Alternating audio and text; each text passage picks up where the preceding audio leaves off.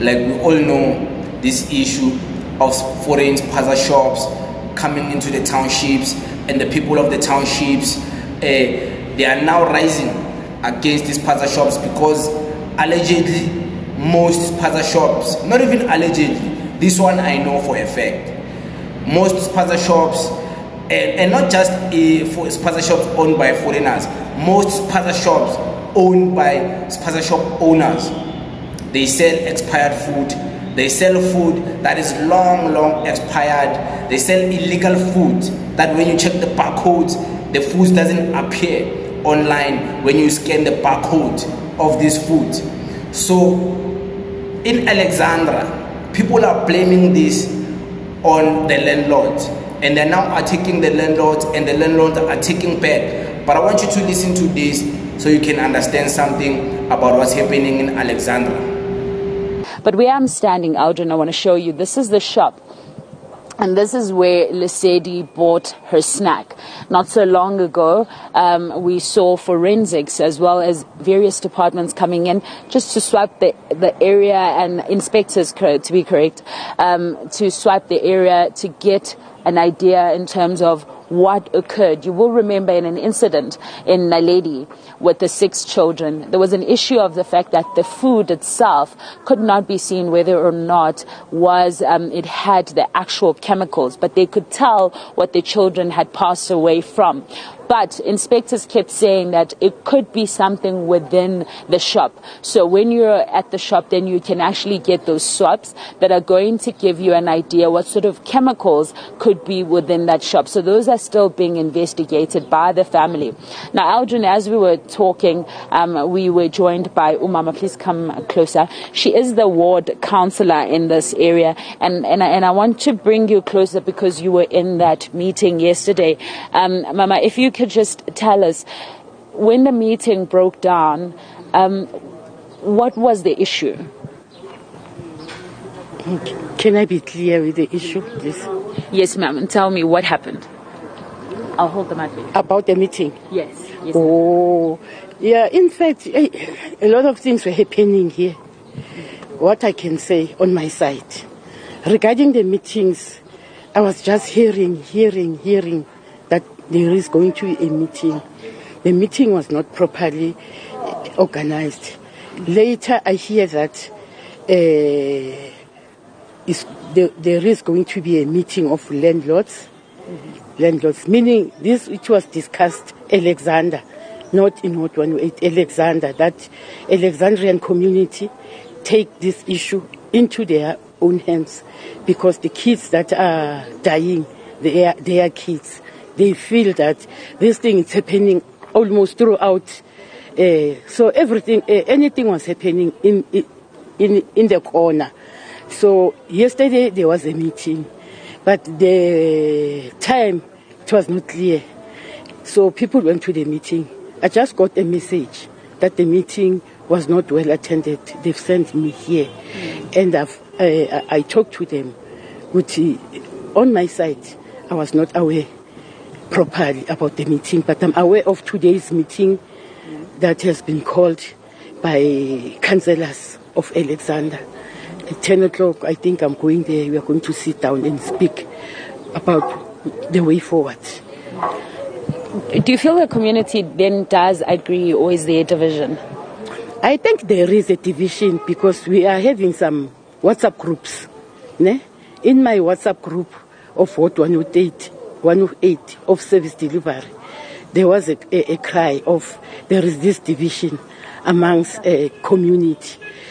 At 10 Vasco, there was some movement, a lot of uh, community in the evening.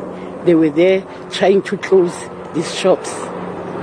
So this community of that place were protecting the spaza shop saying why these people came in the dark, why they don't come during the day and everything must happen, everybody seeing everything what is happening, which I agree with them.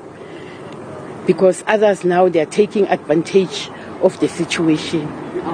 Why while we must sit down and talk and talk and come up with a way, a proper way forward.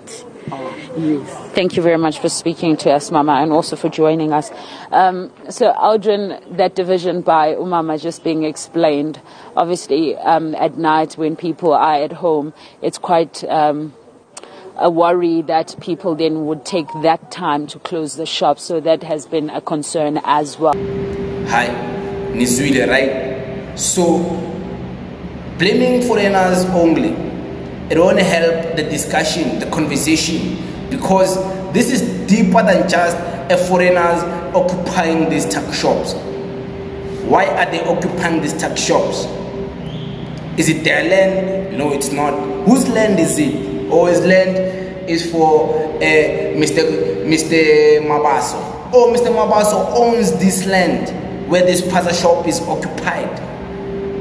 Does he has a title deed to this land? Who built this spaza shop? Ah, it's Mr. Mabaso's spaza shop. Oh, it's his, it's his garage. So how did this foreigner enter here and start this shop? No, this foreigner uh, is renting to Mr. Mabas. Oh, landlords are taking money from foreigners who are illegal foreigners who are selling illegal food, expired food in these spaza shops. So you see, there's also locals involved in this. And this is what uh, this mother is saying. Is saying that the problem is when the people rise and the landlords defend these spaza shops because they're getting money from it. And another issue is that most of our people, South Africans in the townships, want to take advantage of everything that is happening with the outcast spaza shops to want to loot these spaza shops at night. Why not do it during the day? That's what this mother is doing, is saying. Why not do it during the day where everyone can see, where the people can agree with what you're doing, where you can even call the police to come and assess your march, your protest, your looting.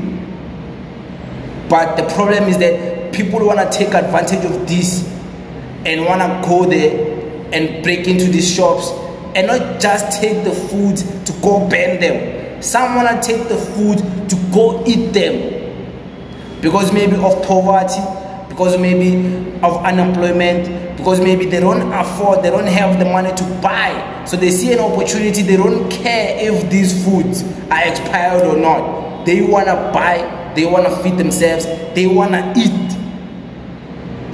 So there's many problems involved in just one discussion and we have to have a full broader discussion so we can understand everyone's perspective.